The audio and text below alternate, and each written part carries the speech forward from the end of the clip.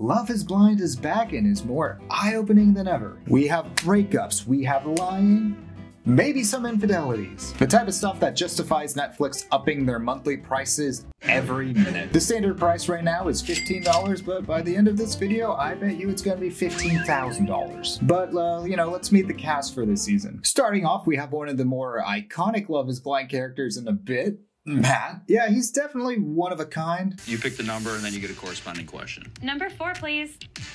This one's been requested a couple times. We try to be something different. What about you? You know, I was just going to ask the questions. I wasn't really anticipating getting the same one back. Superman had a cold personality to start off too.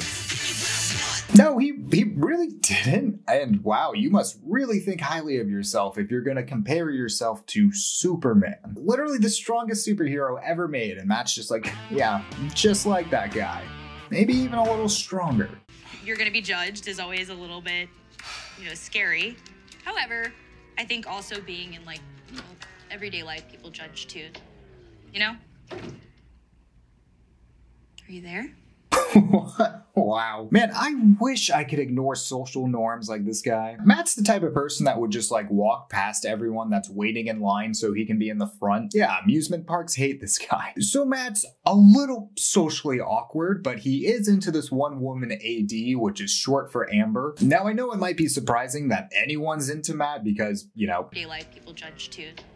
But for some reason, AD is uh, really into him. AD is a really nice person. She's probably my favorite cast member of this season, which really isn't saying that much because a lot of these people are not too amazing to put that in the nicest way I can. But Matt and AD grow a close bond, and Matt talks about how special their relationship is. What I'm saying to you, I'm not saying to anybody else. Until we realize that Matt has been saying sweet nothings to another girl, Amber. I had a good date. Who'd you have?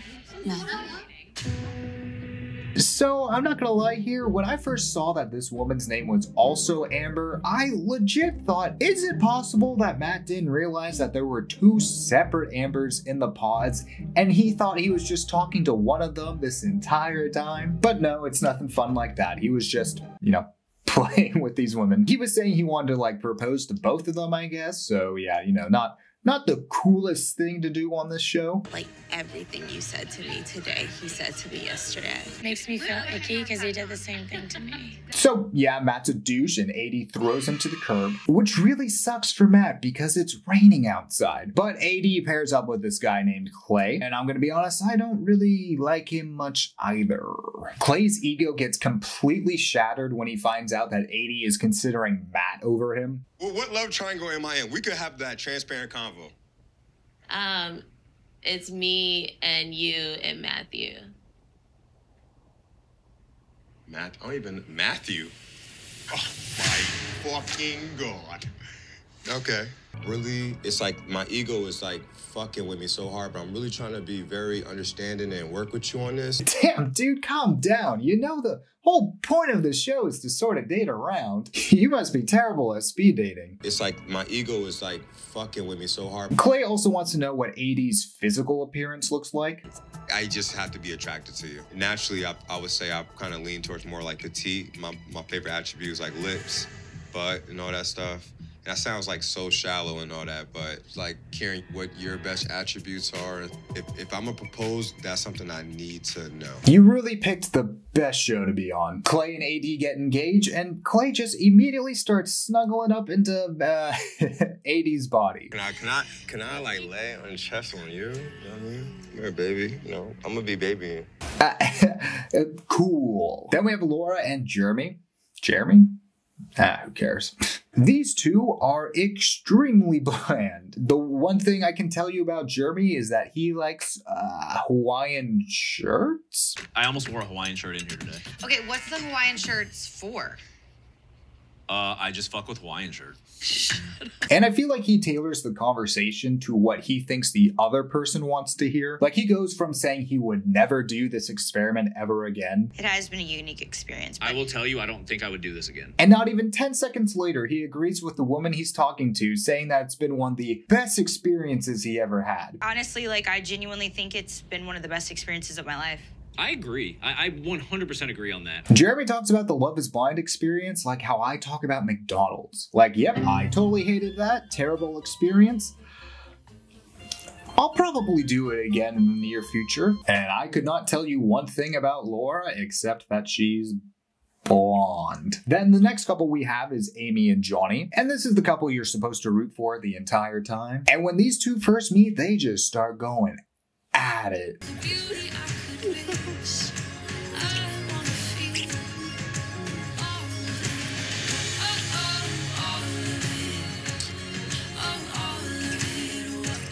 Yeah, I didn't think the US version of Love is Blind would be so French. But they are a good couple, and you know, there's just not a lot to talk about with them. It is weird how Love is Blind always has one couple like this. Jimmy and Chelsea, on the other hand, are not a, not a great couple. Chelsea is extremely desperate to find a man and has gone to great lengths to try and find one. I've even tried going to like Home Depot. There might be a man there. Okay, this this is important. Did you try and find a man inside the Home Depot or outside the Home Depot? Or did you just realize that Home Depot's stud finder uh, wasn't for men? And Jimmy's just sort of a doofus. There's one point where Jimmy bites his lip and he uses that as an excuse on why he can't tell Chelsea he loves her. I'm not gonna be able to tell you I love you every single hour of the day just because I'm working from home.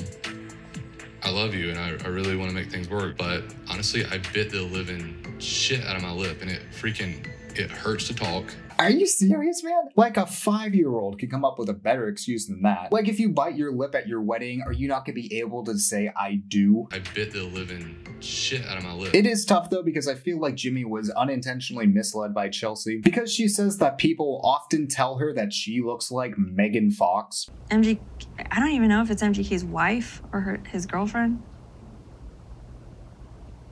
Megan Fox. Did you say you look like Megan Fox?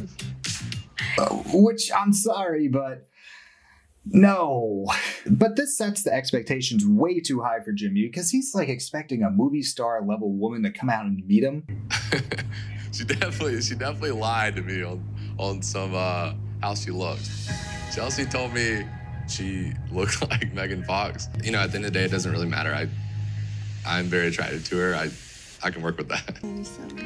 Hello, darkness, my old friend. Jimmy also has the problem of liking the taste of his own foot in his mouth. Really thought a lot this morning about what I wanted. And like I almost went home this morning. Why would you say that? There's no reason to admit that. I would call these two a train wreck, but I, I feel like it's a bigger disaster than that. So our five couples go to the Dominican Republic where they, you know, celebrate their honeymoon. Oh wait, there is another couple, uh, Kenneth and Brittany. Totally forgot about them, and uh, so did the show. The first six episodes of this 13 episode season all take place in the pods. And I'm not gonna lie to you, in those first six episodes, Kenneth and Brittany maybe have like 15 minutes worth of screen time. I don't have the specific numbers in front of me, nor do I care enough to figure that out. But let me tell you their entire love story. When they get out of the pods, Kenneth is too addicted to his phone to pay attention to Brittany. You, you can use the other bathroom to get ready in. Um, how you feeling? Cause you know I'm ecstatic, but how are you? Miss this so much. I miss my device. And then out of nowhere, he decides that, you know, this it's not gonna work out. This is not going to work. But I do want you to find the person you're actually supposed to be with. Give me a hug so you know it's no beef. Damn, that that's got to be the most casual breakup I've ever seen. When I first watched this, I legit thought I accidentally skipped a scene because this just it, it comes out of nowhere. I'll be honest though, I think Kenneth just wanted to re-download all those dating apps so he could spend more time on his phone. Miss this so much. So we are now down to four couples. Yay! Honestly, not a lot happens on the honeymoon trip except a few people objectify AD. That woman is does is absolutely stacked. AD. Bean dip? Not the bean dip. I said, Jimmy, do it when walking second, she will literally No, die. she Like, told me she to do will it, dude. I was like, I'm gonna get fucking canceled. Do not. I will no, fight you. absolutely. What a bunch of likable people, am I right? I am surprised AD had such a good trip because her fiance does not make it any easier. Because Clay doesn't want AD to get fat and has a really thought out way of motivating her. I wouldn't even let you get like out of shape. Yeah, but what if I do get like I'll tell you. Hmm. I'll be like, AD, get in that motherfucking gym. And if you think getting pregnant is an excuse for Clay, you would be wrong. At some point, we're gonna have children, Yeah, you gotta get right. and I'm gonna have a belly And, and like. and I would be in the gym with you every day. Dude, do you realize how insane that take is? Like, you're gonna gain weight. Like, that's just science. And it's not like even after you have the baby, it's gonna be easy to lose the weight. It might be tough, AD, but like, are good trainers easy on you? Honestly, though, like, are good trainers easy on you? Okay, yeah, so you're just you're just a dick. Clay does sorta apologize for that, but I mean, I feel like you said how you felt. Clay is very worried about his and AD's relationship, and his biggest fear is that he's gonna cheat on AD because I guess Clay's dad cheated on his mom a lot. I will say Clay's dad does sound like a piece of shit. Infidelity was a thing, and like, my dad would take me with him to some of his infidelity trips. Dude, what? Did someone not tell Clay's dad that father son bonding time is more like, you know, throwing a baseball and not taking them to your affairs? Like, what an absolute scumbag. Like, ugh. You know, let's move to something slightly more pleasant Jimmy and Chelsea. They are on different pages to say the least. You can tell that Chelsea is very worried about her relationship with Jimmy. I'm like, oh my gosh, she's gonna like see my closet. But also, I haven't been there in three weeks. So if there's like a little dust bunny, like, is he gonna call off the wedding? Jimmy just pulls a Matt. He walks in and sees that there's dust bunnies everywhere. He's like, yep, all right, see you later. Everyday life, people judge too. But when it comes down to it, Jimmy's just not that into Chelsea. They have a conversation about how Jimmy doesn't show enough affection to Chelsea, and it all leads to Jimmy saying that he thinks uh, Chelsea's a bit too clingy. Truthfully, you've been a little clingy.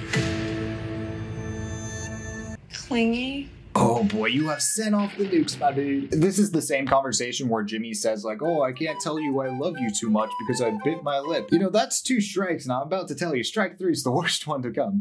And you say I'm too clingy, and then went upstairs and had sex with you?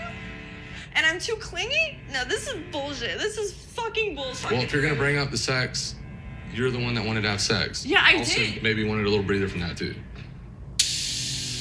Oh my fucking god. You know, it's honestly impressive how much of his foot he can put in his mouth. So this all leads to a huge fight, which, you know, of course it did. Like, I'm so disrespectful. Like, I'm so fucking tired of this. And the next day, Jimmy's like, no, babe, I just like totally love having sex with you. I didn't mean I didn't want to have sex with you. What I meant to say was, you initiated it, and I am happy you initiated. So please, don't, please, like, don't discontinue initiating it. Yeah, that was an amazing save there, Jimmy. Laura and Jeramey are still adapting to one another, but there's one thing that Laura just can't get over, and yes, it's the Hawaiian shirts. He does this thing with Hawaiian shirts, which is not my favorite, but it was like he was doing it to like be silly. There's a whole closet upstairs that I'm like, Well, well, I don't want to take his Hawaiian shirts from him.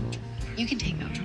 W- What's your problem, man? Do you hate like the state of Hawaii or something? You feel like we shouldn't have gone into World War II because of them? You wish we had just stayed neutral? Everyone else likes the Hawaiian shirts, especially Jeramey's other girl he dated in the pod, Sarah Ann, who Jeramey hung out with till 5 a.m., which is a totally normal thing to do when you're engaged. You're just hanging out in the parking lot at Lost and Found till five something in the morning. You're denying leaving the bar. I don't want to talk about that right this second. No, dude, if you don't want to have a conversation, you just get up and leave. Everyday life, people judge too. So it's not explicitly said, but it is strongly hinted that Jeramey did sleep with Sarah Ann. Jeramey lies throughout this entire conversation and then gets caught lying. Where were you? In the parking lot. You were north of Uptown, which is where Sarah Ann lives. Yeah, man, uh, not looking good. So they end up breaking up at a barbecue. Everybody can feel the tension between us at this point, and can we at least just put it aside for today? I do want to try and have a good time with the people that are around here. Why the fuck is that your concern? Honestly, fair point. Jeramey's like, dude, you're like totally harshing the vibe. Like, yes, we just ended our engagement, but I still want to enjoy this hot dog. So after all this, Jeramey decides to go jet skiing with the woman he almost certainly cheated on with. All right, it's official. Laura is never going to Hawaii. Which is not my favorite. How are the other couples doing, you may ask? Well, Amy and Johnny are doing so well, other couples are agreeing, like, yeah, no, but th- they're the best couple here. Have you met our strongest couple right now? Hey. Gee, I wonder how this relationship's gonna end. Chelsea and Jimmy go on a date to an amusement park that is a literal ghost town. What's your favorite ride here? Roller coasters are so my thing. I feel like this is the start of a Scooby Doo episode where Chelsea gets kidnapped and Jimmy's just like, oh no, someone stole my fiance. I guess I can't get married. And if you thought these two were done fighting, uh, you you would be wrong. Chelsea goes on a drunk rant to Jimmy about multiple things. You, you don't think that I care about you just because I want to go out and like uh, have one drink just to make an appearance for a friend and come right back? That's not the kind of person I want to be with. Who are you with? I know it was Jacob Jess. Lee West. I was not with Jess. I've never saw Jess. I heard it was Jess. I think you're fishing. I think you're fishing. You think I'm fishing? Yeah. Eh, you know, it's a mess. I don't really want to talk about all the messy details, but it, she's just insecure about this relationship. But it does get into such a mess where I do start feeling bad for Jimmy, which, after everything I've just shown, it says a lot. But when these guys come up on screen, it makes me really want to just pull out my hair. All right, Chelsea and Jimmy made me pull out my hair, but you know, luckily I feel like I did it, you know, pretty evenly. So back at the amusement park, we get a bombshell, and no, it's not Megan Fox. And I, I want a relationship with you, and I want us to work so bad, Mm-hmm. but I don't want to go to the altar. Woof. Fitting that Jimmy and Chelsea broke up at an amusement park because their relationship was a roller coaster. Yeah, these two were probably one of the worst couplings in this show's history. So we started off with five couples, and now we're down to two. In another shocking turn of events, on Amy and Johnny's wedding day, they get married. I know, who could have seen that coming? AD and Clay's wedding doesn't have a happy ending. AD, I love you. I don't think it's responsible for me to say I do. All right, I, I don't like Clay, but let's be honest, he wasn't ready for marriage. And the show always shames contestants who don't want to go into a marriage with someone they've only known for a month. That being said, I feel like Clay could have at least given AD a heads up. Clay's reasoning for not getting married too really emphasizes how like how how do I say it?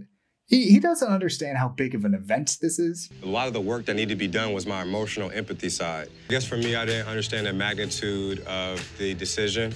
You didn't understand the magnitude of your decision. Do you hear the words that are coming out of your mouth, man? Yeah, you really do need to work on your emotional empathy. You know, hopefully we can find a therapist that won't go easy on you. Are good trainers easy on you? Honestly, though. Well, uh, this is gonna be a fun reunion. So yeah, that was a fun reunion. You know, if if you watched the whole show. But the reunion did focus on things that, you know, overall didn't matter to the show. Like they bring back some married couples from Love is Blind, which is fine, but they bring back Matt and Colleen. And for those who don't know, I just don't like Matt. This guy would get drunk and just start screaming and yelling at his fiancee Colleen, and no one ever called him out for it. To say the least, there are many couples you can celebrate for being on Love is Blind. Matt and Colleen, or specifically Matt, should not be celebrated. Jeramey and Sarah Ann are together, so I guess she likes pineapple on pizza, you know, because because that's Hawaiian style.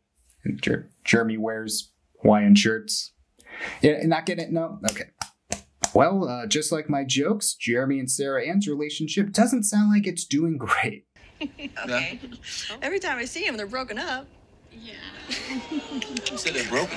I-, I love that guy's reaction to this news. He's like, oh my god, these two may not have the best relationship. So Sarah Ann made this TikTok talking about how this whole show is just made for entertainment, and they put it on during the reunion. Let's take a look at that clip so everyone has a context.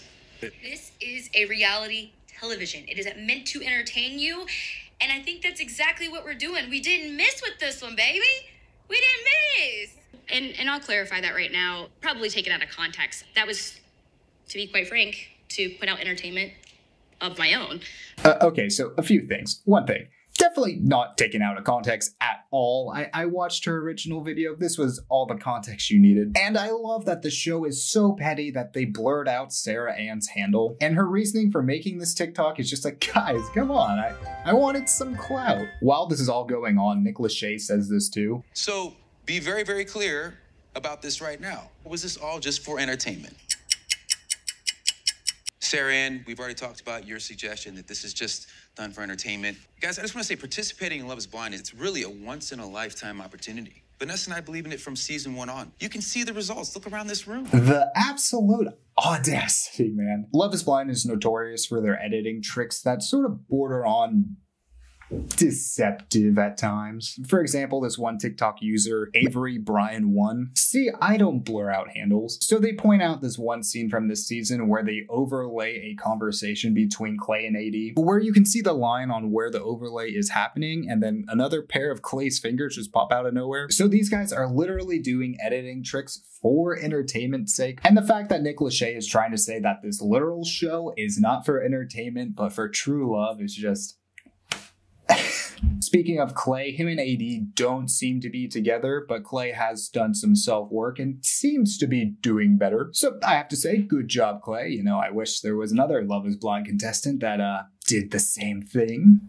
And in one of the more weirder moves of the reunion, we don't get a lot of Chelsea or Jimmy. Like, yeah, they talk, but not too much about their own relationship, and we don't even get an indication if they're together or not. Which is weird because they were like the vocal point of this whole season, and then in the reunion, they just sort of get forgotten. But, you know, that's pretty much it with this season and the reunion. I will definitely say this season was more entertaining than last season, but you know, that's a pretty low bar. Anyways, that's it for today. Make sure to do the YouTube things, like and subscribe, and I will catch you on the next one.